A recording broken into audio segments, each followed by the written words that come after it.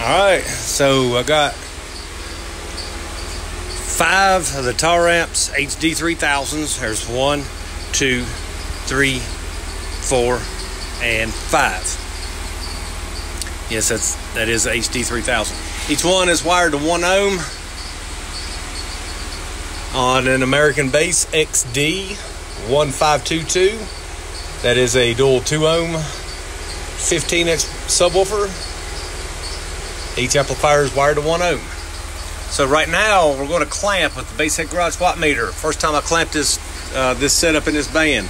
We're going to clamp this one amp right here.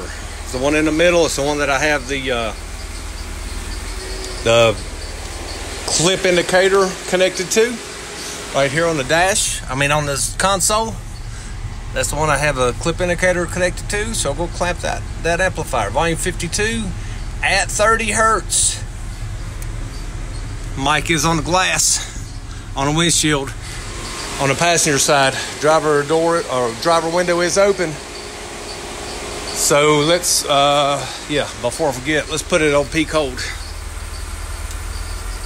Peak hold. Let's clamp the power out of this thing. Let's see what we got. I'm guessing about 2,000 watts each amp. That's what I've been saying. I don't know. So let's find out. Moment of truth. What are these Taramps, these cheap ass Taramps doing? Wired to 1 ohm each at 15 volts. That's at 15 volts. All right, let's go. 30 hertz.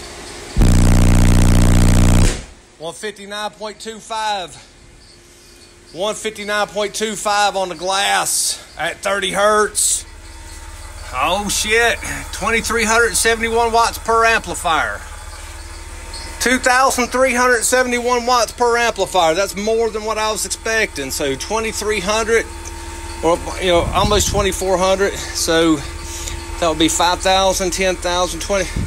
So about 12,000 watts, give or take. Okay and almost a 160 look $100 $100 $100 $100 $100 and about $140 on each subwoofer. $1,130.50 is what I have in all 515s and all five amplifiers. So budget pro wall slash no wall next weekend it's on like donkey kong